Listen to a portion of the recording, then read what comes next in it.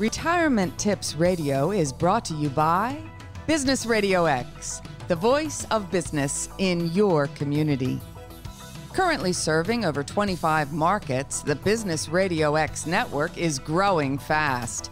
We're teaming up with retired execs and established entrepreneurs to support and celebrate local business leaders. If you'd like to make additional income while making a difference, discover more at brxteam.com. Now, here's your host. Lee Kantor here, another episode of Retirement Tips Radio, and this is going to be a fun one. I got with me today Akaisha and Billy Kaderli, and they're with Retire Early Lifestyle, Lifestyle.com. Welcome. Thank Hi, thanks, Lee. And thank you for having us. Well, before we get too far into things, tell us about Retire Early Lifestyle. How did that come about?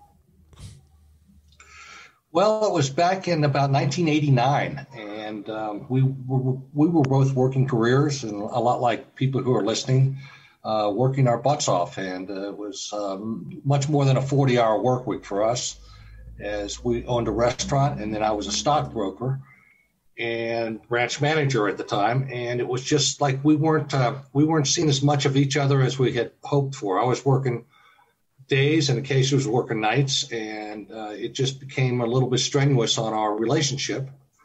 And so I'd seen some magazine um, stories on people who are who retired early and were traveling the world, and that piqued our interest. And so in 1989, I brought to Akaisha this idea of us selling everything house, cars, everything and uh, hitting the road, traveling abroad to experience uh, different cultures. And so then in 1991, we actually pulled the plug and did it. Now that was kind of early in the, in the thinking like that, right? Because nowadays a lot of people you're seeing a lot of uh, people that are taking that route or at least considering it. But back then that was unusual, wasn't it? Oh, it was very unusual. There was it was uh, no path for us to follow. There was nothing internet wise. There was no social media, no um, email, no personal computers, no um, ATMs hardly. You know, so there was. We just had to kind of wing it. We just did it. It was very unusual for our families and friends. We were kind of on the outside there for a while. So now, what was the kind of the response from your family and friends? Were they were anybody supportive, or were they thinking you're crazy? Like what what they thought you would do this for a minute and then come back to work? Like what was the thinking back then? All of that, all of that. They thought we were crazy. They thought we'd do it for a minute and come back to work. My mom thought I was a bum. I was giving up a perfectly good job, a gorgeous home a quarter mile from the beach. I had to tell her we weren't going on welfare, that we purchased our freedom and we wanted to travel the world. And our friends didn't understand it at all. They thought we were going on a long vacation and that we would have to beg to get back into the working world. And course, the rest is history. We did this in 1991 at the age of 38, and it, that's almost 30 years ago, and we're still here. Now, were you doing this? Did you have some of the um, kind of fears that some people approaching retirement at any age have, like, oh, I'm going to run out of money, or what if there's a health crisis? like like how were you kind of mitigating some of that at least perceived risk well because i had some experience in the brokerage business and in the stock market and we had been investing for years we'd already experienced a couple uh, highs and lows one was the 1987 stock market crash where the market fell like 20 plus percent in one day and so I was pretty confident that that we could make a, a decent return on our money if we just stayed invested and rode these things out.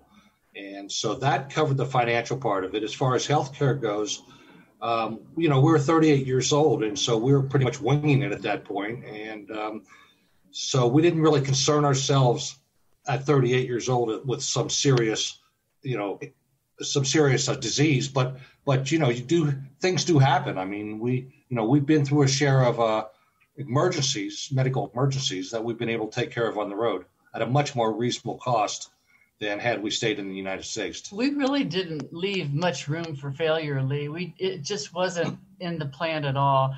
We were just gonna, you know, get in there and do it, and um, you know, no plan B in terms of that. And so, you know, I trusted Billy with the numbers. He's a numbers guy, and I, you know, I work on the lifestyle. And, you know, we've worked together before because we had a restaurant together. So you know, we knew what teamwork was about, and we just didn't, you know, let room for failure enter our minds.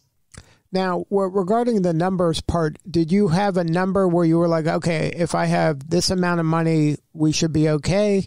And so you waited till you got that amount of money, or you realized, okay, we probably have enough right now? How did that play out? Okay. What we did is we in in 1989, a couple years prior to this, we started tracking our expenses, and this is something that I recommend everybody do, no matter if you're working or retired. And so we started to see how much we were spending per year on ourselves.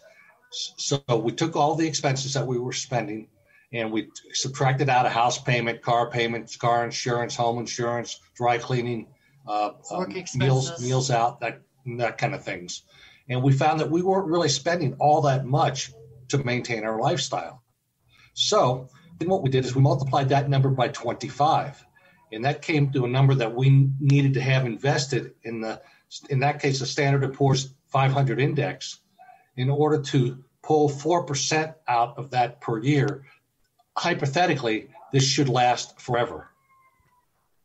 And so i mean that's a common uh, people are using that same 4% today. Um, maybe people have altered it maybe to 3% uh, because people are living longer now and they may not be able to tap into that um, or or with downturns, especially the ones like we're going through just recently, it has to be able to absorb things like that. So you still feel confident? Nothing. So that plan worked and is still working for you today. By far, it worked, and and you know we we did the four percent rule way before the four percent rule was invented, and and so um, yeah, we've got a higher net worth today than we do when we started by far after inflation and spending. And so, yeah, it's worked out fine. Now, now we don't spend four percent, um, but we could. I mean, we we, I think one year we went over uh, four uh, percent, but um, normally we just, you know, we we live a pretty nice lifestyle, and um, we spend what we want. We're not miserly in that regard, but um, no, we, we're doing good. Now, uh, at what point did the blog come into play? In 2005, what had happened was we were, um, you know, just traveling. We meet many, many people, and and we were kept getting the same questions over and over. And how did you do it? What were you trust fund babies? Did you rob a bank? Just just the same constant bombardment of questions. What do you do about healthcare? That's the biggie. And so I told told Akaisha, I said, I think we need to write a book. And you know, neither of us had been published authors prior, and so we knew that a publisher wouldn't touch us. So we had to create a the website in order to sell the book. And so 15 years after we retired in 2005, we created the website. And then that became kind of a vehicle to start building community um, and then sharing your knowledge. Very much so, yes. It's been a it's been a wonderful uh, connection with people. We really love. We consider it our our uh, volunteer time and we really love to help people think outside the box and take the life that they're living now and maybe make it more to their liking. There's so many options that a lot of people don't see that they have. So it's been a great joy for us. And, you know, at this point now, we've got close to 10 books. So, you know, it's, it's, um, it's a real good back and forth. There, you know, it, what it's done is it's opened up uh, to be able to meet people that have, number one, purchased our book, number two, follow us for years and you know, and we meet them in distant locations, and uh, that's really opened up the world to us. Yeah, there's no one size fits all when it comes to retirement. So it's, it's very interesting, very exciting to be able to meet other people with different challenges or more money, less money, and help them out. Now, um, is there any has there like like part of your services you mentor people I guess going through the retirement or considering retirement? Is that right? You have a mentoring program? Yes, yes, that is. Uh huh.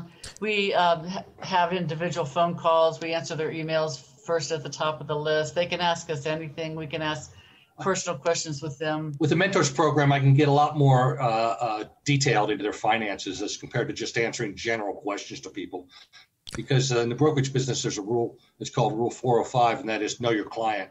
And so if people just ask me, well, where should I invest or what should I do with this money or that money, I can't really answer them other than in a general manner unless unless they become a mentor because then I can dig into the, the nuts and bolts and learn how much risk tolerance they have, what other sort of assets they've got, you know, what their plan in general is and stuff like that. Now, um, what is typically the driver for people who retire early? Is it um, they're just frustrated with? It seems like this isn't why I was put on this planet. That um, you know, life has to be more than that, or is it something? Well, for us, it, go ahead. Oh, excuse me, Lee. For us, it was freedom. We wanted our own lives. We wanted to call the shots. I think a lot of people who do um, retire early, they want their lives back. And sure, some people. Um, don't like their jobs and we don't recommend that. We you know not running away from your job but rather run towards your dream. And for us the number one thing was freedom. We wanted our lives. We wanted to come and go. We wanted to see places meet people learn new things. You know we wanted to live our lives. We're, our life is like the national geographic magazine.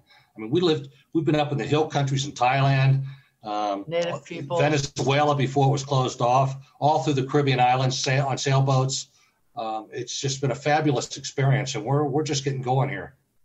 Now, when you're doing that kind of traveling, is this something that uh, you just pick a country and then just show up and you go, okay, let's figure this out? Or how much planning are you planners or are you kind of uh, improvisers? Improvisers. We we do a little bit of planning to get us on the ground, get a hotel, and then we go from there. And one other thing is like if we go to Asia, we don't fly straight from Asia to Africa and then Africa to South America and South America to Canada. If we go to Asia, we you know we see Bali and um, Australia, New Zealand, Japan, you know all the places in uh, Cambodia, all Vietnam. You know we we work in that area of the world, and that way it it um, helps us in terms of um, airplane trips and that kind of stuff. Or like if we're in the Caribbean, we go to Latin America, you know, Guatemala, Mexico, Panama, and that kind of stuff. So we we utilize the area of the, of the world where we're in, and then uh, look at all those countries there. It's more of kind of meandering rather than just going like from yes. like point A to point B. Now, um, absolutely meandering because we, we could be in a place, and you know, the best source of information is other travelers, and you meet them at coffee shops and in old cantinas or whatever. And some guy will say, "Well, have you been here yet?" No. Oh, you got to go. Yeah, and it's so, a lifestyle more than a vacation. Yes. It's the way we live our lives. So we're not you know, we're not looking to blow a bunch of money on hotel rooms and big dinners and all. We did that when we were young and working, and so we really focus on the local people, getting involved in the community, doing volunteer work, and that sort of thing. And, and uh, we like it. We like the people. We do meanderly. I mean, so we could stay a week in some place, or we could stay a month. It's just kind of or years. We've done that. so how do you decide? Mexico in 19- How do you decide?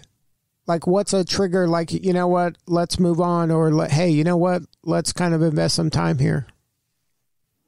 Sometimes it's it's uh, the deals that are on the airlines. I know things have changed right now but back back when we were all free to travel it could be a deal on an airline. It could be like well you know I've, we've done everything we want to do in asia for now. You know like we were there for like eight years. You know what i'm saying um, off and on and so and then we do would do Latin America, then we might do Europe or something. So like it could just be we want different food, we want different uh, indigenous people, we want a different perspective. Yeah, we're pretty much foodies, and so like right now, well, we were we were hoping to be in, in, in Italy right now, and uh, you know obviously that didn't work out. Olives, cheese, and olive so, oil, yeah, fish. You know, the wine, the cheese, the meats, we're in. So now, uh, still in a restaurant, you know. That's right. So you you know the good stuff. Um, where are you now? We're in Chapala, Mexico, which is on the largest lake in Mexico called Lake Chapala, which happens to be the largest expat community in the world. Now, was that it's by design? Place. That's by design. Is that like a home base for you, or do you have a home base? Well, this is one of our home bases here. We have one in Panajachel, Guatemala, on Lake Atitlan, and one in uh, Chiang Mai, Thailand, which is in northern Thailand, and also in uh, Ho Chi Minh City or Saigon, Vietnam. And then when you have a home base, is that do you own property or that's just a place you like to kind of go back to? No, it's just a place we like to go back to. What we normally do is leave leave like a couple boxes of things. We store them either with a friend or in a hotel um, storage place. Nothing real important, you no. know but so that when we come back again, we can kind of, you know, not have to repurchase all the things we already bought. And then um, I would imagine you have friends all over the world now. We mm-hmm. are so fortunate. Yes, yes we, do. we, do. Is that part of the secret sauce? Uh, having friends all over the world, that opens up more doors, I would imagine. Tremendous yes. opportunities, and you yes. never know who, who, they know or where it's going to come from. It's just, uh, it's been, yeah, pretty fascinating. Now, um, what was your first trip? Like, how did you create that escape velocity when you started? Wh- where did you aim uh, the journey first? We went to Nevis in the West Indies, Nevis St. Kitts Federation. It's a 36 square mile island in the Caribbean. And it's a beautiful, beautiful place. And we spent six months there. I wanted to go someplace that I'd hit a wall so I wouldn't be tempted to get into anything. And Nevis is so slow that if you want a hamburger today, you had better ordered it yesterday. and so it's just really the land of uh, okay, man. Now, um, for you, the traveling has opened up a lot of doors and and maybe expanded your mind of what the world can be. Is there any advice you give to people retiring um, who maybe don't think that they should travel, or is travel just part of this? That that in order to pull this off, it helps to have that kind of wanderlust. Oh, not necessarily. Um, I think the thing that makes the magic sauce or the thing that makes this work is tracking your spending. When you know how much you're spending, then you can you can monitor and um, work out how much money you need to to spend to live in a year. And the largest thing of that spending is your housing. So, like, you know, if you can um, uh, monitor your housing expenses, you can live anywhere in the world. And flexibility is a big key, especially um, as you age. Well, anytime if you're going to do this, if you're going to pull the you know pull the rope um, early, you need to remain flexible. And and just like this virus thing came, I know who predicted this. You know who predicted this the 2007 2008 uh, Great Recession or whatever whatever they're calling it. Um, you, so you just have to be able to kind of flow with the go with the flow and uh, make the best of it, though. Mm-hmm. Now, can you talk a little bit about um, what it's like getting health care in these other countries. Uh, that might be a fear for some folks. Um, can you allay some fears when it comes to that? Sure. One of the things uh, we realized pretty much right away is that the cost outside of the U.S. is far more reasonable um, it's a whole different type of system. We pay cash out of pocket for most things. You, there are insurance companies, insurance policies, I mean, that you can purchase international and it's underwritten by international companies and so on. But we have found that we just pay out of pocket. We've had everything done from emergency surgery, colonoscopies, eye, eye exams, full physicals, uh, teeth implants, everything purchased out of pocket. It is just so affordable.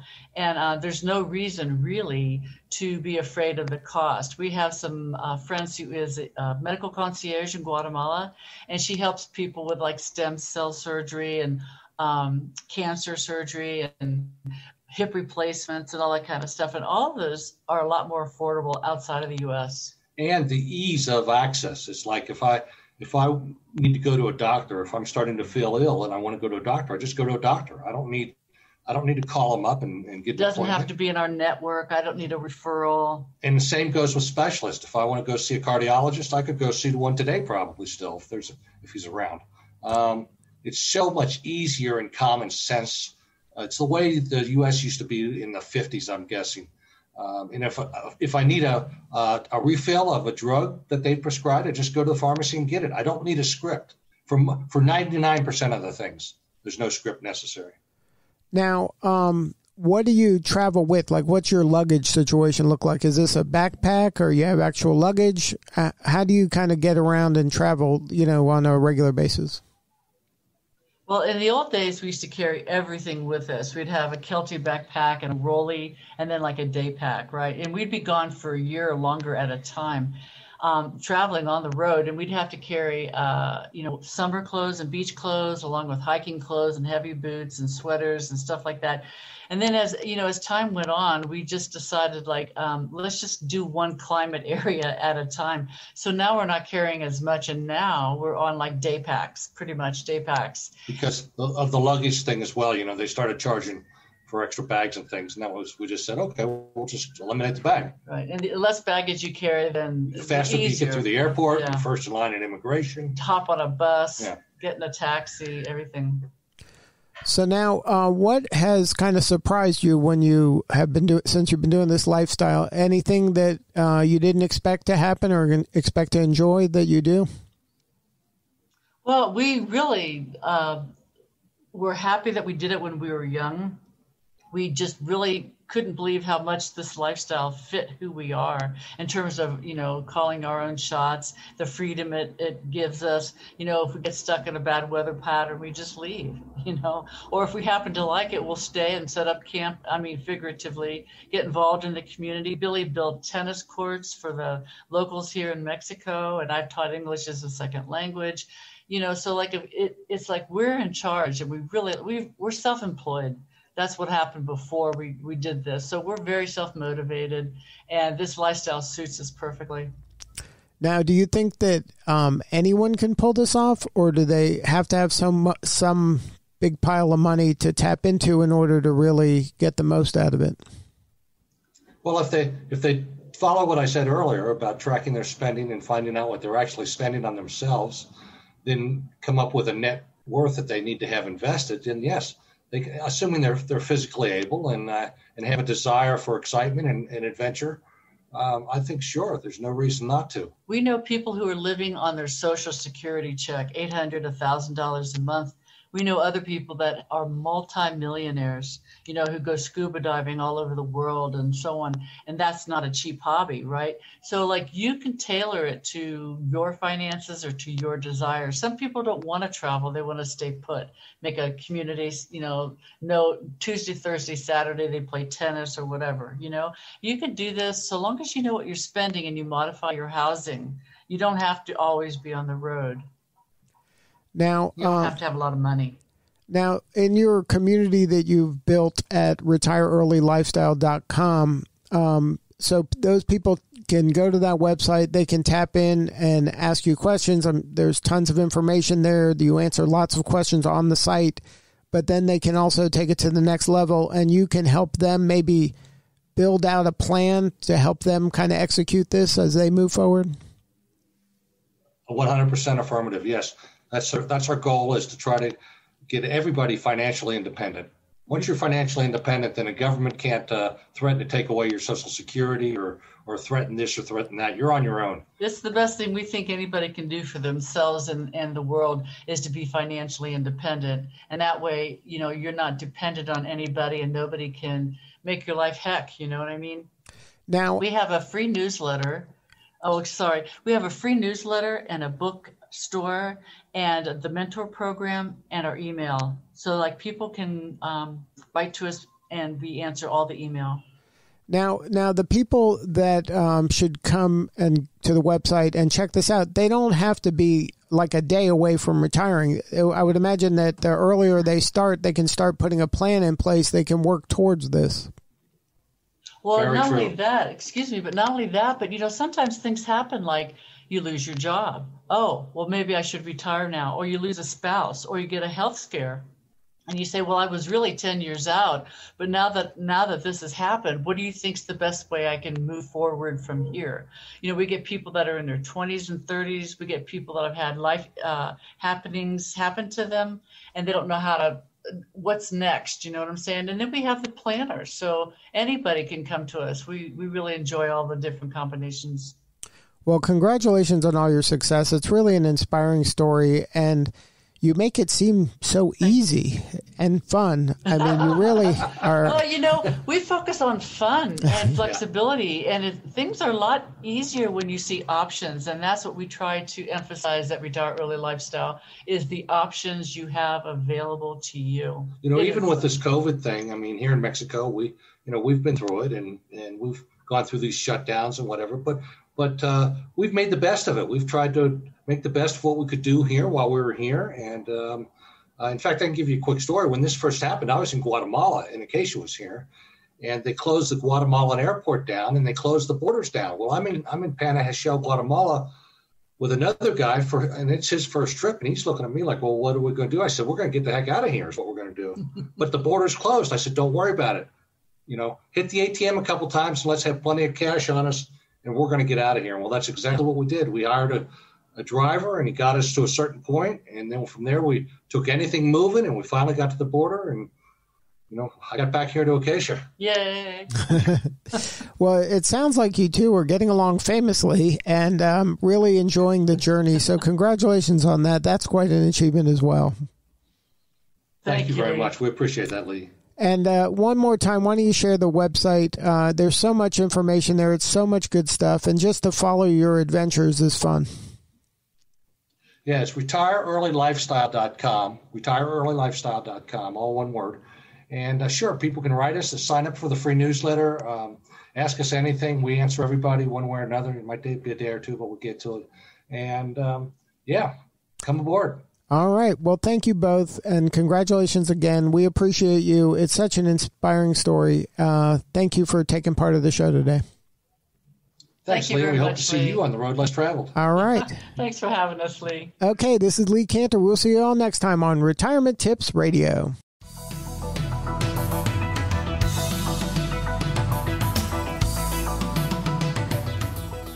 Retirement Tips Radio is brought to you by Business Radio X, the voice of business in your community. Currently serving over 25 markets, the Business Radio X network is growing fast. We're teaming up with retired execs and established entrepreneurs to support and celebrate local business leaders. If you'd like to make additional income while making a difference, discover more at brxteam.com.